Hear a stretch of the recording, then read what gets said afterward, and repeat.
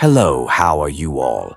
Today I will discuss Song Joong Ki's latest drama entitled My Youth, which will premiere in 2025. Curious about this information? Okay, let's watch the video until the end.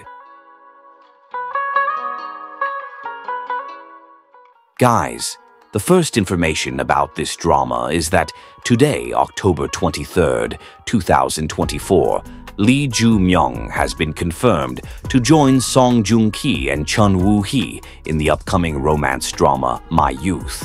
Guys, this drama might be expected to be able to provide a comeback for Song Joong-ki, because if it is related to romantic dramas, Song Joong-ki is certainly his expertise, while Lee Joo-myung, who has just confirmed himself to join this drama, Lee Joo-myung will play Mo Tai-rin, a famous actress who suddenly meets her first love from school.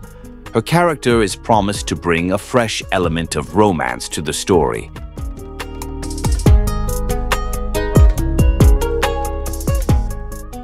Guys, what moral message can we take from today's news? When we love someone, then we must involve God in our love. We must pray for unity, and so that the decisions we make are the right decisions.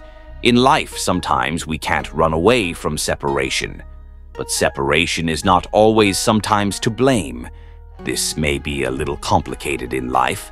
That's why we as limited humans need to involve God so that our feelings become calmer.